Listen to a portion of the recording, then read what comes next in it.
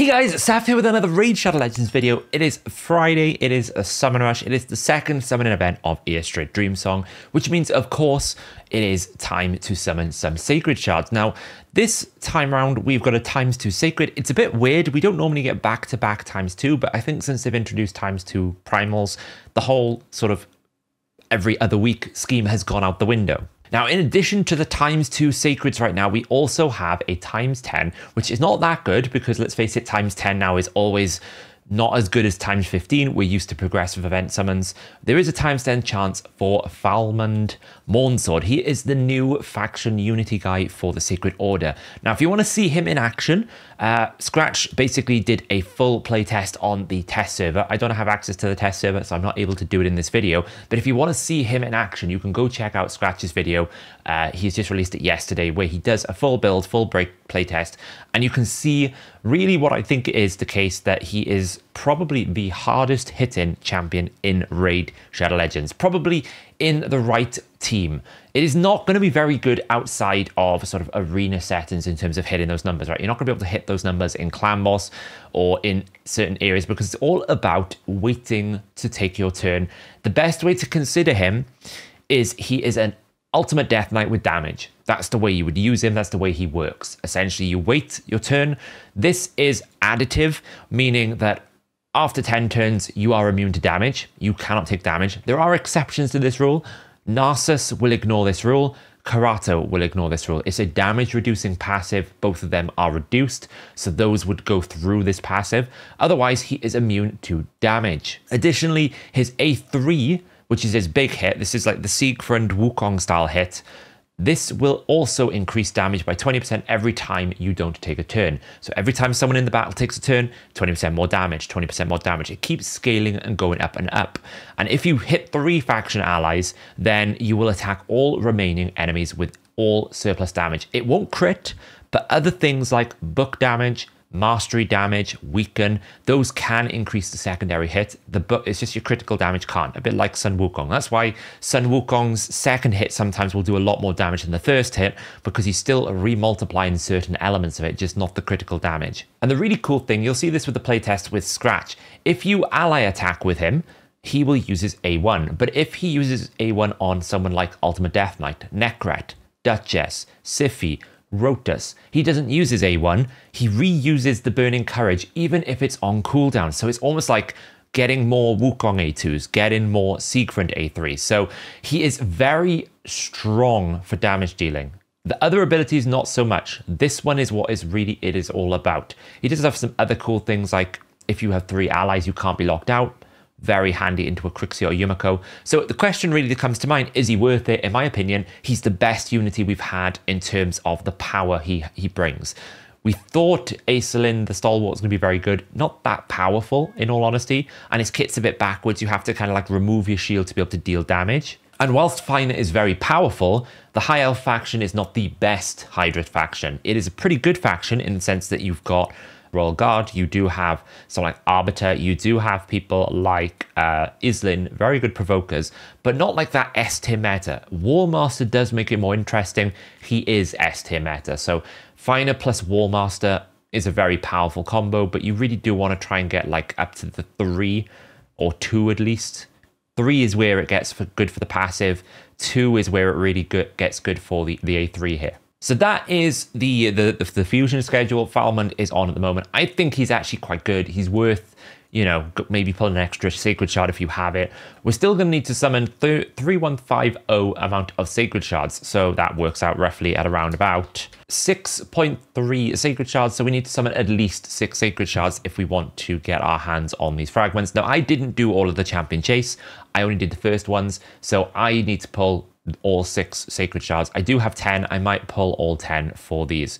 Now, in terms of other legendaries that are still really, really powerful, it is a times two sacred, so it's a pretty good chance for you to get a legendary. Harima is currently dominating the arena because of the fact that she is actually strong affinity to Armanz and she is also able to deal with lots of the, the strong champions like Narses. She's really, really good for that. So she is kind of rising in priority and strength, even though the mythical champions are also kind of dominating as well. But Harima is still holding her own. For me, I would love a Harima. Anyone like a a Heffrac or a Kymar would be great. I still don't have those. Those would be quite good. I wouldn't mind someone like a Ignatius. There's some stages where that could be really handy in Cintranos. But pretty much Kymar is what I'm really looking for here. I would really like a Kymar if I could get it. I don't have a reset that is beyond Renegade and I don't have any lockout. So both kind of situations would be really good. You can see this. There's lots of Sacred Orders I don't own, um, but a lot of the, the legendaries now, if I do pick up a Warmaster as well, extra bonus. So we'll see what happens here. So let's see. I'm going to pull probably all 10 sacreds at this point. I've got some pretty good shards. I don't really need much else. I'm going to try and get this Falmond. I really would love the Falmond. He's a very powerful champion. Hopefully you have as much luck as I'm about to not have luck and we'll see what we go to. Let's let's do it. Let's do it. Let's see what we get. The first one is an epic, of course, and it is Lady Quillen. Lady Quillen is okay, pretty decent epic. Uh, it's actually one of the epics you can get on a login um, when you first start your account. She's decent damage. She gives a bit, good bit of buffs. It's just a little bit conditional with some of her elements. Um, pretty handy in some Cintrano stages if you need her.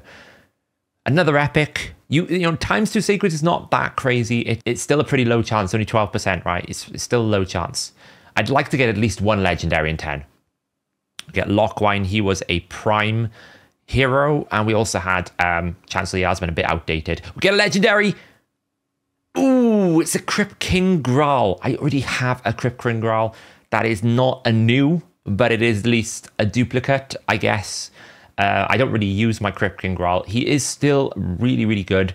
So he's an AoE HP burn, which is great on a three turn cooldown. He then has his A3 where he will place a freeze and place a burn for three turns if they're already under a burn. And he has a 100% chance um, of placing a decrease attack if they're under HP burn or freeze. So he's a very good solo carry, very good sort of burn champion, but I don't really need him. I already have him. We really still want this Kymar. Do we get anything else? Okay, we're back to epics. It's fine. We, have got um, Canoness, not, a, not an amazing epic. Come on, Falmond or Warmaster. Those are the two I would like. Warmaster, Kymar, or Falmond. Those are really high up on my list. Illusinia, one of the Mikage epics. I don't need it. I have Mikage, so that is not a problem. Do we get one more legendary in this list of sacreds? 10 sacreds. Can we get one more? Just one more. I don't really need any of these epics. They're all kind of useless. Coffin Smasher, better than the new daily login champion because he does. Oh, that's Burgoth. It's not Coffin Smasher. I was thinking of Coffin Smasher. He's better than the new login. We get one more legendary.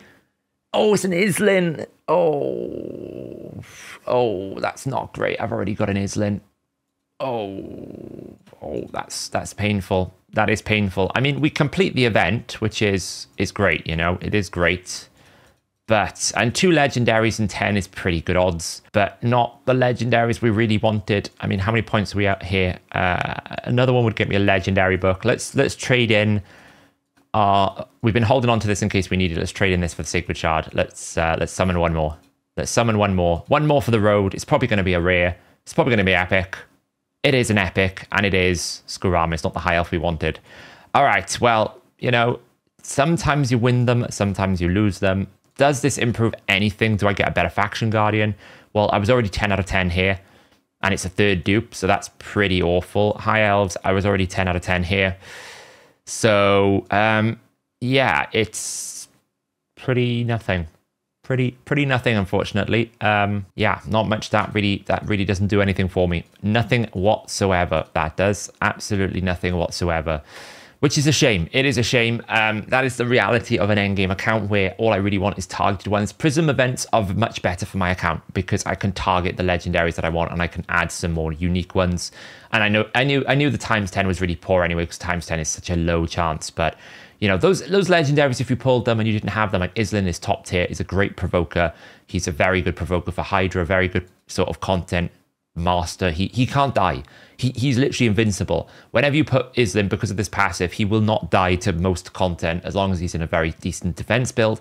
He doesn't even need regen gear. He just literally will never die. So the only way he can be killed in Hydra is to be consumed. The only thing is I already have him, and it's the same with Crypt King Graal. I already have them, so they don't really help me. There you go, guys. Hopefully you get more luck than me when it comes to your times two sacreds. Hopefully you get Falmond. He is well worth it. Make sure you go check out Scratch's video if you want to see the actual full playtest, and I'll catch you guys in the next video. Bye.